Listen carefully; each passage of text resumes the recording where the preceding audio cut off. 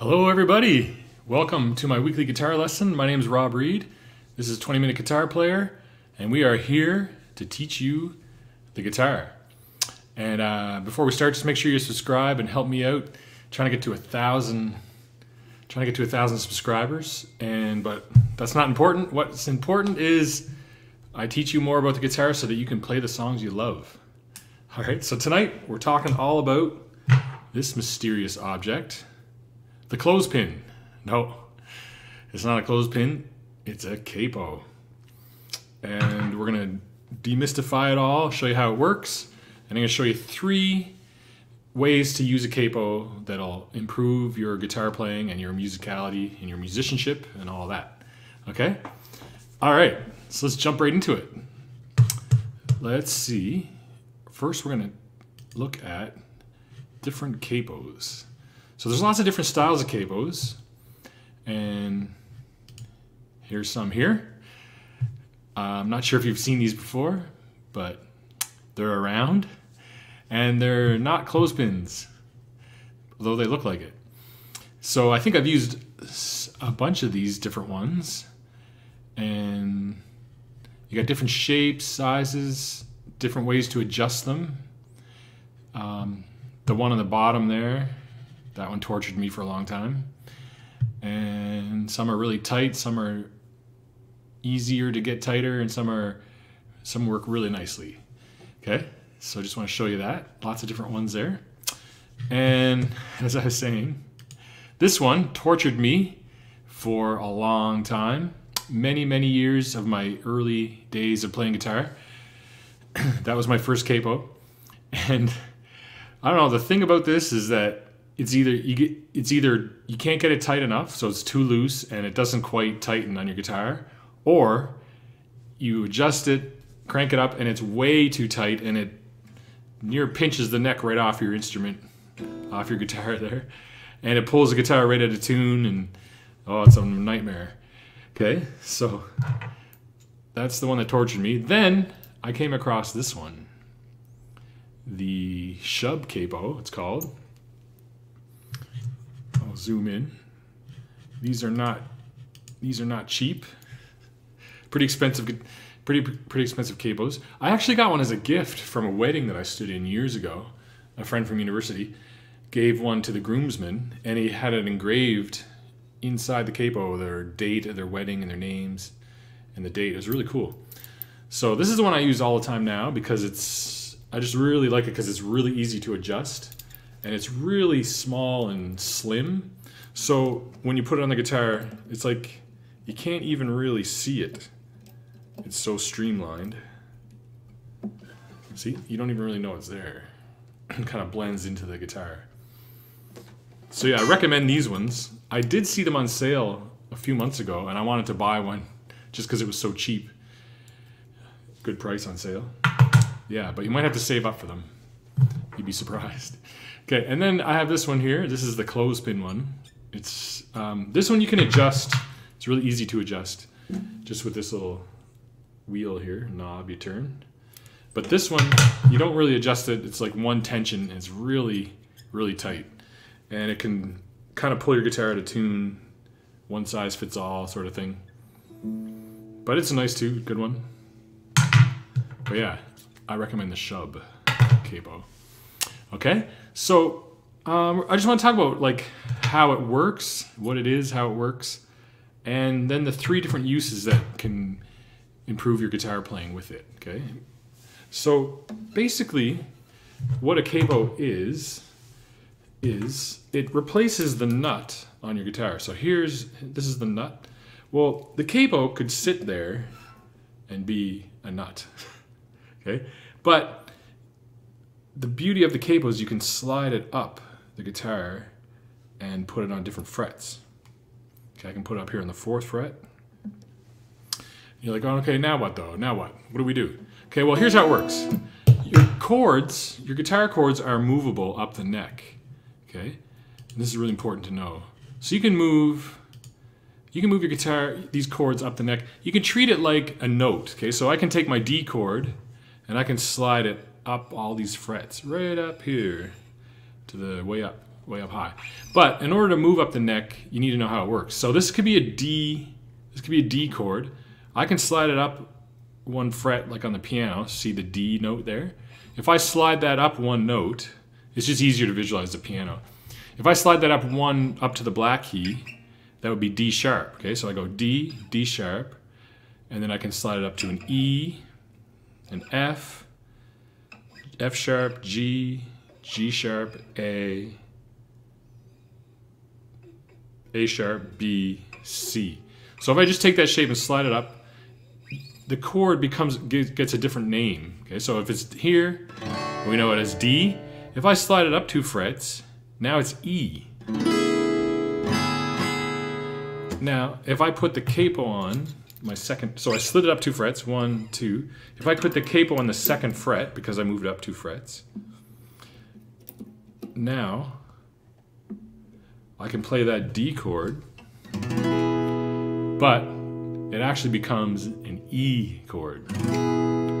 And the nut is holding it all together and keeping it all in place, my capo. Okay? So now I can play, now my D shape becomes an E chord. And then if I play a G, with the help of the capo, I can play that G chord now, but it's actually an A chord because I slid it up two frets, G, G sharp, A. And I can also play an A chord shape, but it's actually, a, what do you think it is?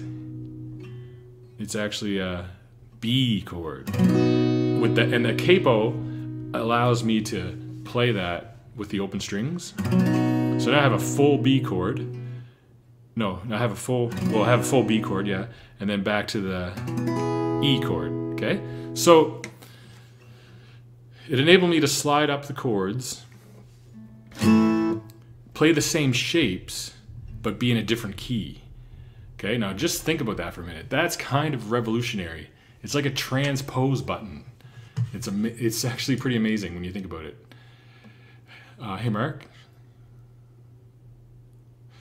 Mark has a question. I'll just take a pause here for a second. Should the capo go in the middle of the frets or closer to one fret than the other? Yeah, great question. Great question. So you want the strings want need to have tension and push against the fret that's that's in front of. So I would I would go close enough to the fret to get that tension happening. Good question, Mark. Thanks for that. Um, so that the strings aren't buzzing on the like give it enough tension so the strings aren't buzzing. You don't want to crank it on too hard because it'll pull the guitar out of tune, and you don't you want to be able to just get that capo on the fly there. Eh, like while you're playing on stage or something. Um, yeah, so I would push it, put it closer to the fret that it's just behind, but not too far up so that it doesn't block your hand. Okay, make sure your hand can get in there and play all the chords. So I'll just zoom in for you. Okay, so it's not obstructing my hand there. So yeah, just close to the front fret. I wouldn't go too far back because then you'll get buzzing and you'll have to tighten it even tighter and then that'll pull the guitar out of tune. Okay, thanks for the question, Mark. Okay, so,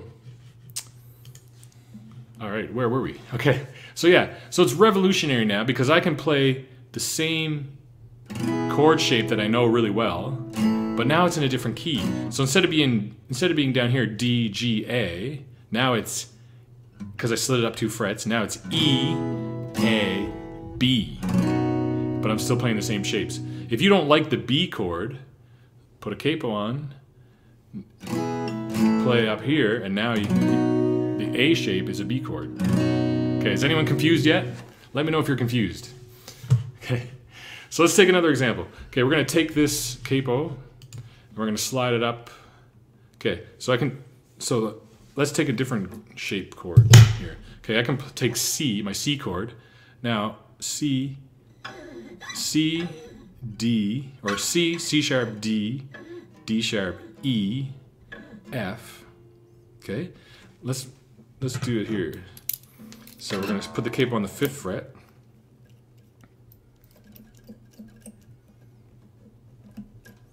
Clamp it on. Sorry guys. So F, the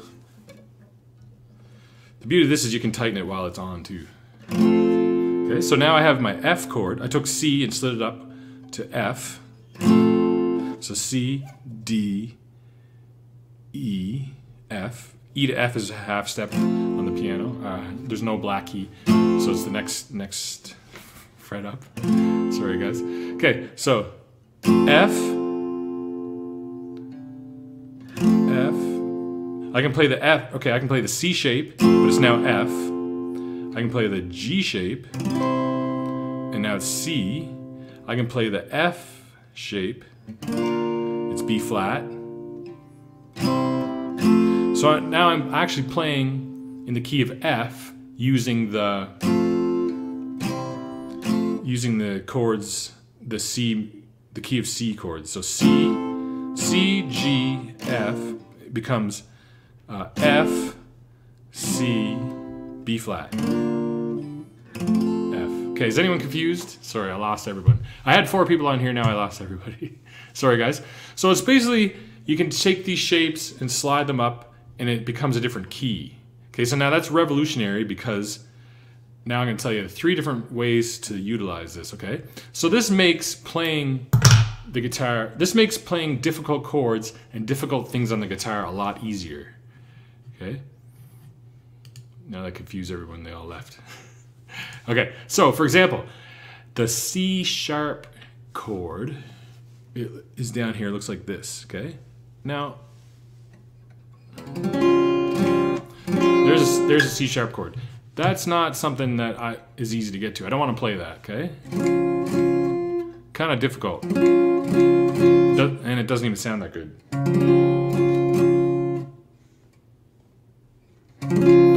Well, if I slap a capo on, I can play C sharp, take the C chord, slide up one fret, and here it is here. It's the same shape, C sh it's the same shape. It's just it's just a C major chord, and I slide it up one fret, put a capo on. Now it's a C sharp chord. So it makes playing things on the guitar a lot easier. For example, we have my band has a song, and it has a riff like this.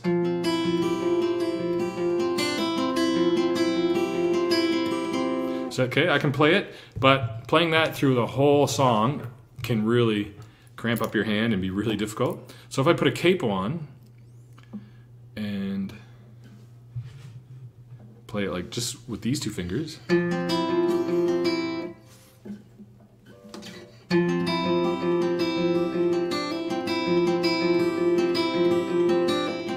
Makes it way easier and I'm only using two fingers. I don't have the bar anymore. Okay, so I'm just gonna put this banner up. It makes impossible chords possible. All right. So if you need to play a song, if you want to play a song in the right key, and say there's a song written in the key of um, C sharp, okay, you can't you can't be playing these C sharp chords down here, and you might not want to play the bar chords. So put a capo on, take the C chord, slide it up one fret. Now it's C sharp. Okay. So C, C sharp, D. I can slide these chords up. Put a capo on the first fret. Now you have the C sharp chord.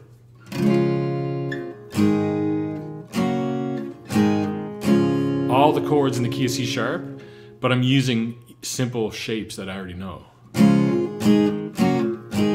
So it's making impossible chords possible, basically.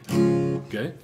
And if you like playing in a certain key, um, if you like playing in a certain key, like you can only play D, A, and G chords. Those are the only chords you know how to play.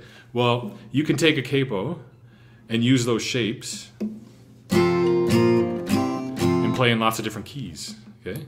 Just using those same shapes. So if I moved it up to the fifth fret, D, E, F, G, A. Now I'm playing in the key of A with the with the D chord shapes. So A, no, I'm playing the key of G, sorry. I'm playing in the key of G with the D chord shapes. It's a little confusing. Okay? So yeah, it makes, it makes difficult um, chords and things on the guitar easy to play. Okay, so the second use of a capo tonight we're going to talk about is for singing. It raises or lowers a key. Okay, for example, I'm a music teacher and I teach uh, young students, young kids had songs and stuff. We're always doing songs, but sometimes ki- kids' voices are like higher, and I might be playing a song down here.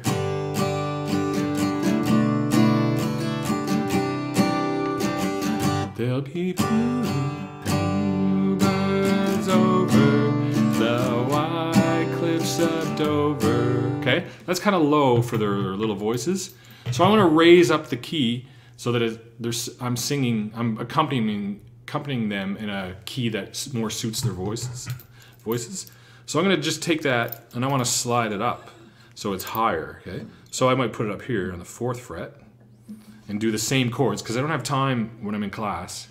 I don't have time to tra- like transpose and I'm on the fly. Okay, there's lots of pressure, so I just want to slide it up so it suits their voices better and they sing in a more comfortable key. So same chords. There'll be bluebirds over the cliffs of Dover. Okay, so it just suits their voice better, and you can raise the key that way yeah, so another great way for using capo is to raise or lower a key or a song to suit voices.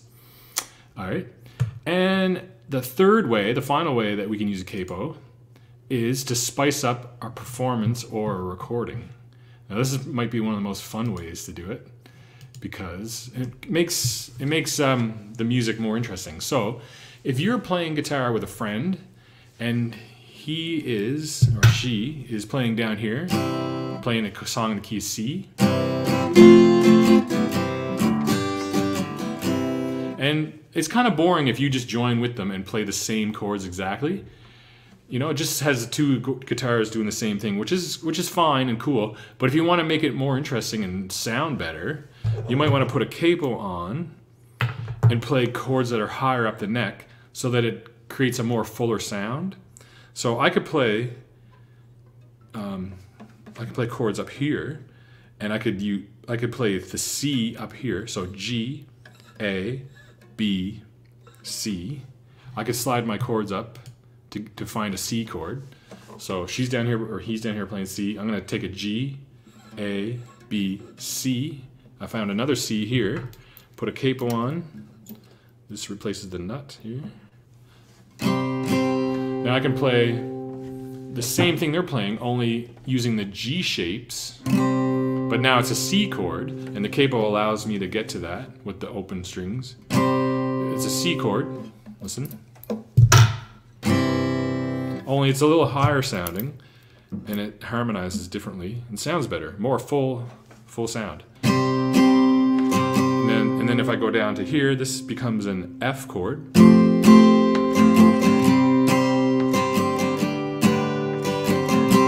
Okay, so same chords, only different shapes up the neck higher, and it gives it a more like you're adding a higher pitch to the to the song. So it sounds better, sounds more interesting, fuller. You can go up really high. I've seen bands do really cool stuff. I could go way up here and play like and it almost sounds like a mandolin.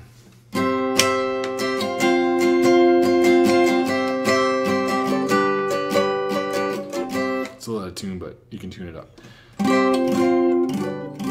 Okay, so you have one guitar doing lower chords, another guitar doing high chords. Sounds really cool. And if you're recording, I love another tip. Recording tip is if you're doing a recording with at home or whatever, one guitar could be um, panned hard like left, playing low chords. Another guitar you could double it, only put a capo on, play higher, and pan it hard right. So you have this really cool stereo sound of like two guitars playing, and it makes it sound a lot bigger and more interesting. Um, I had another tip there, but I forget. Any questions, guys? Uh, so that's how you could use a, a capo three different ways to spice up your playing. Um, first way just makes impossible chords and difficult things on the guitar more easy to play that we looked at. Um, for singing, it raises the key so that you can match people's voices better, people that you're accompanying. And the third way, it spices up your playing. If you're playing live with somebody, just one per guitar can play the same chords only higher using a capo. Other person's low, get a more full sound. And it's kind of boring if you're just playing the same thing. That's what I would recommend. If you guys have any other recommendations for capos and how to use them, let me know in the chats. We can talk about it. Um, yeah, thanks for joining, guys. That's it for this lesson. So take what I showed you and run with it. Have some fun. Try it out yourself. And let me know how you get along. We'll see you in the next video. If anyone else has any comments. Thanks, guys.